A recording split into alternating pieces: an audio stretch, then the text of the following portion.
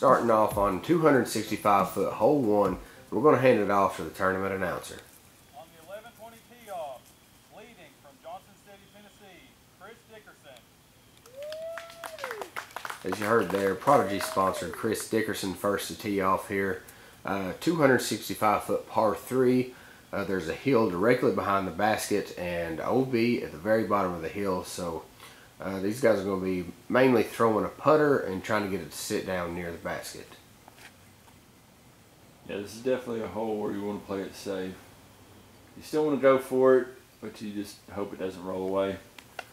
Next up, Good friend of ours.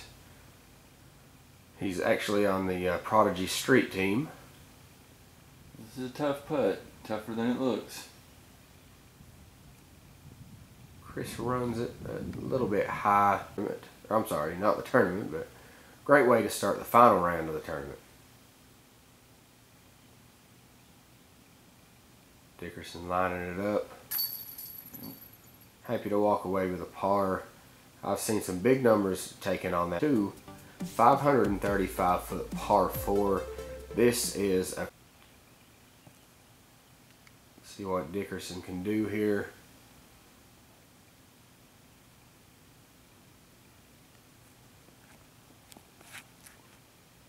Looks like maybe a little bit of anhyzer trying to get some flex at the end. Yeah, I like to end up on the right side of the tree, and looks like that's what he's trying to do. He's under the basket, and that's what you want. Looks like Chris is going for this. Mm-hmm. Chris trying to extend that lead early. Yeah. Try to have a jump putt or a short approach. Uh, I actually like that placement up on the left side of the hill. Par, but as the tournament director and course designer's rules, shot. That is a really great shot. Dickerson looks to be going with the wide hyzer.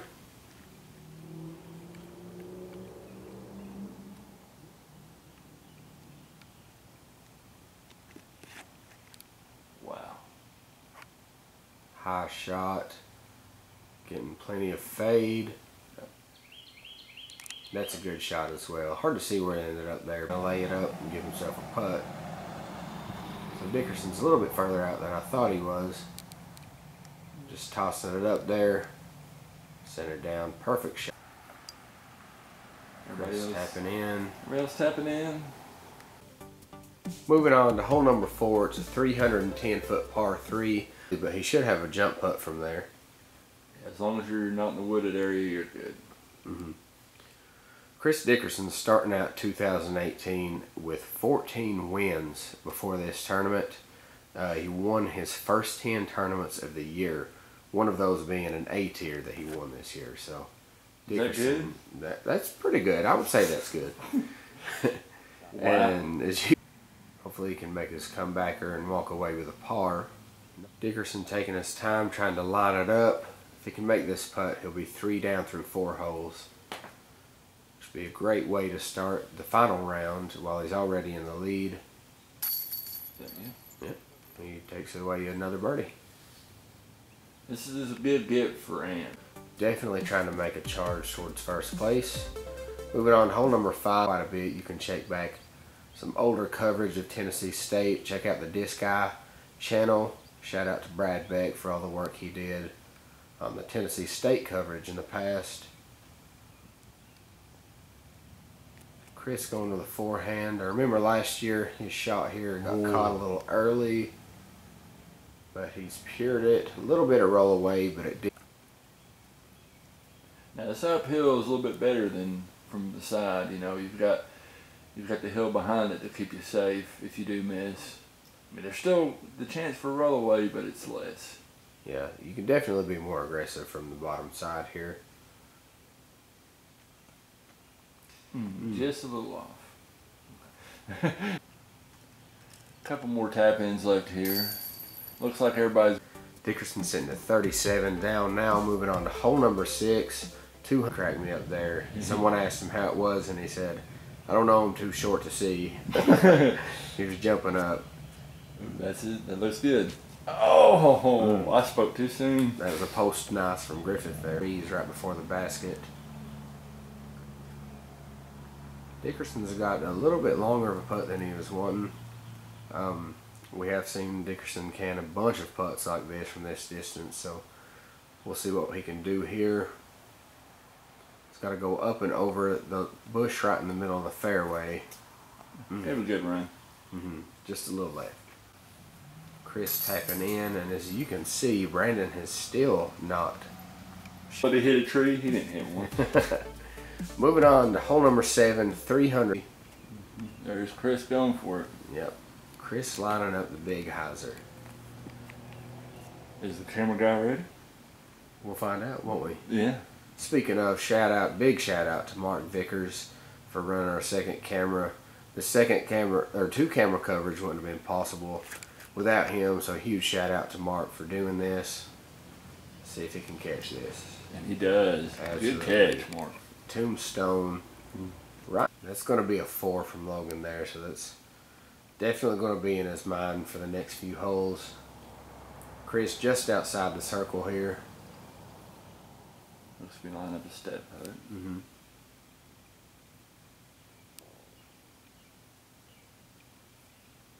And There he go. able to convert. Good birdie. Four down through seven holes. Moving on to hole number eight, long 615 foot par four. These guys are going to be putting as much power as they can behind this and see how far they can get up the hill.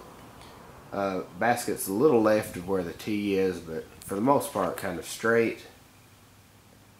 Yeah, it's just it's hard to get a lot of distance going uphill like that. Mhm. But these these guys can definitely do it. distance he got. Remember, this is 615 feet and uphill. He's throwing a putter on that second shot, Yeah. so And Chris has got some air on it. and that's absolutely what you want. Other pros. When I get a three on this hole, uh, another par four on the scorecard, 450 uh, feet. Yeah. Uh, this one is going to play as a par three for these guys. They have Yes. big arms. We've got some big arms on this card, so um, it's marked as a par four. So these guys are thinking eagle in their head. Chris with a little bit of hyzer. Oh, Came up good. a little bit left side, but he's definitely got it. Luckily, it's set down there. He should be able to make that putt.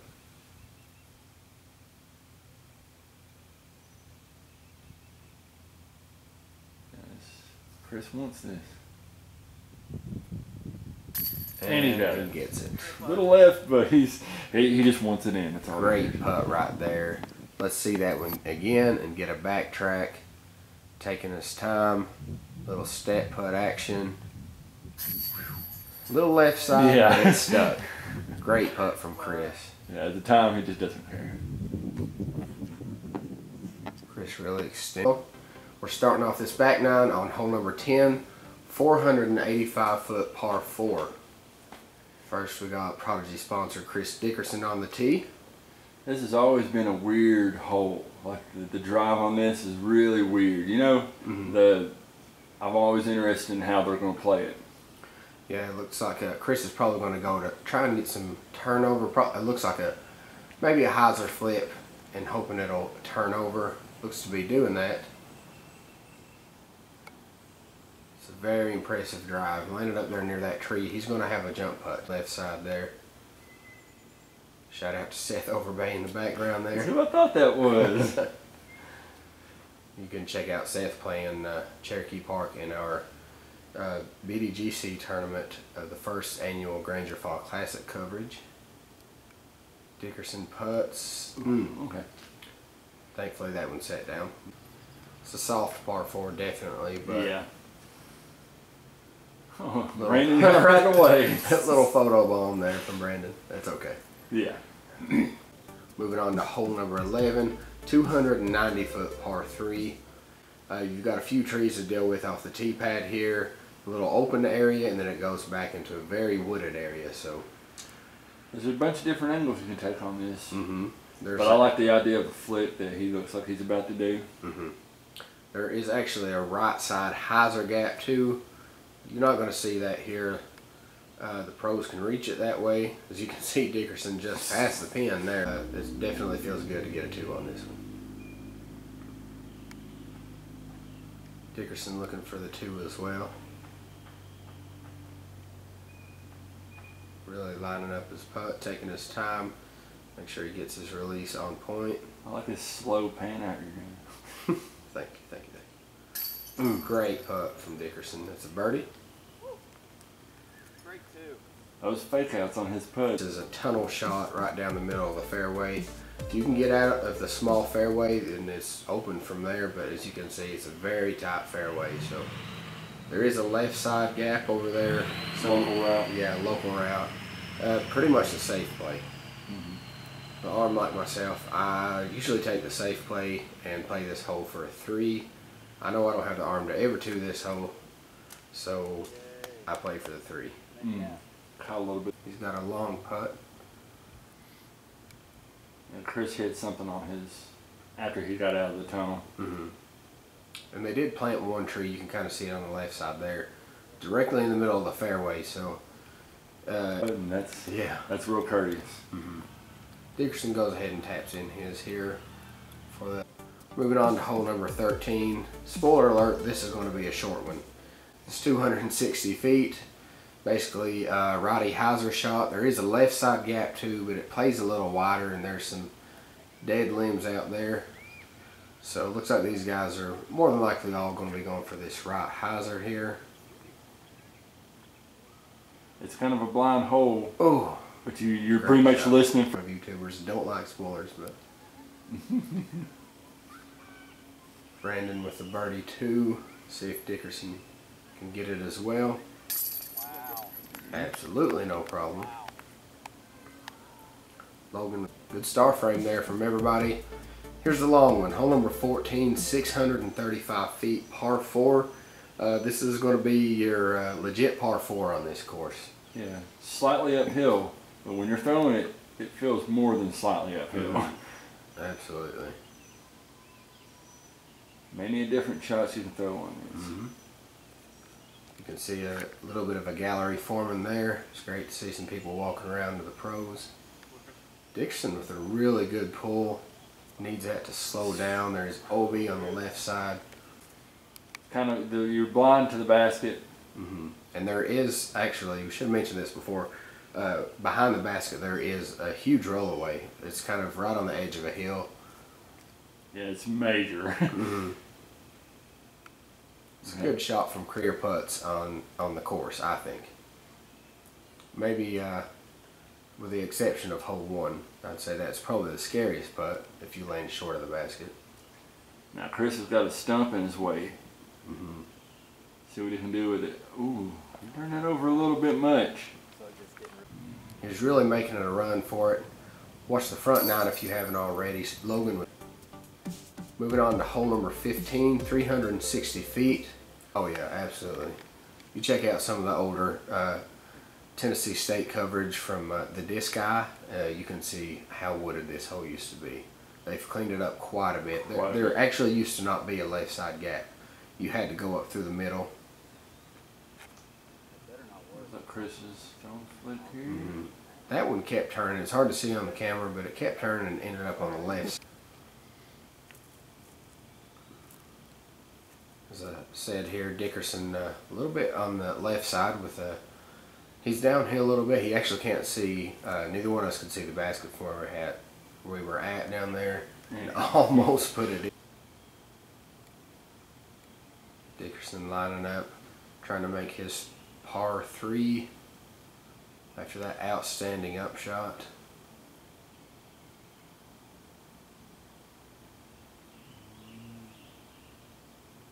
There he Yeah. does. Great putt from Chris. Sometimes I feel like I have to be quiet on their putt, even though. Necessarily, it isn't necessarily a a two that most people are going to get. It's it's one that's very.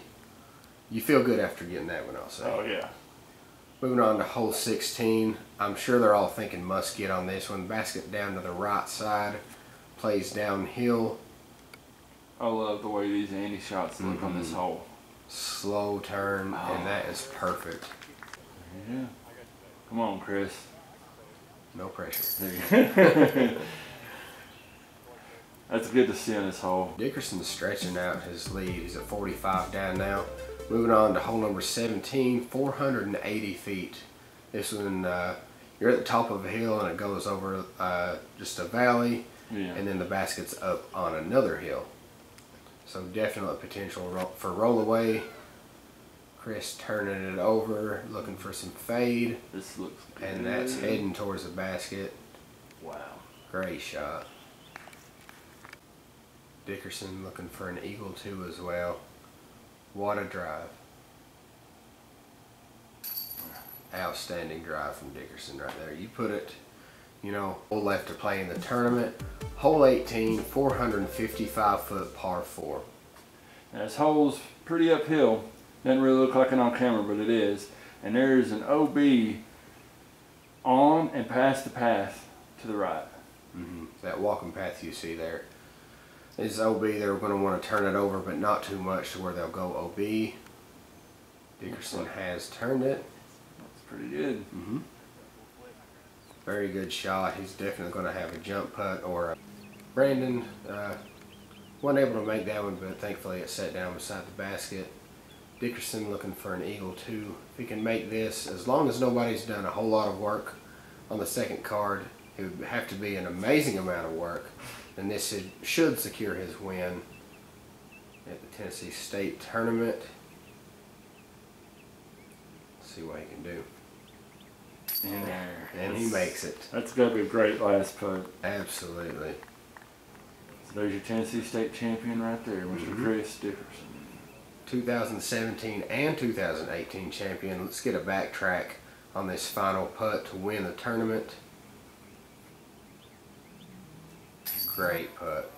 Part of the chains, that's what you want. You can breathe now. Mm-hmm. Very good tournament for Chris. He put in a lot of work. As you can tell, he puts in a lot of work. Ooh, I'm just so dynamic. On another latitude, they can't stand it. Yeah, I'm a rocket boy, I stay blasting off, and I was never planning on landing. Been working on my legacy yeah. since I've been a prodigy. It's probably the dog in me. I mean, honestly, ain't no one stopping me. No apologies, I'm so astonishing. I say, Innova, yeah, I've been the one. We talking trophies, dog, give me them. Championships, I'ma give me some, and I'ma keep on grinding till the millions come.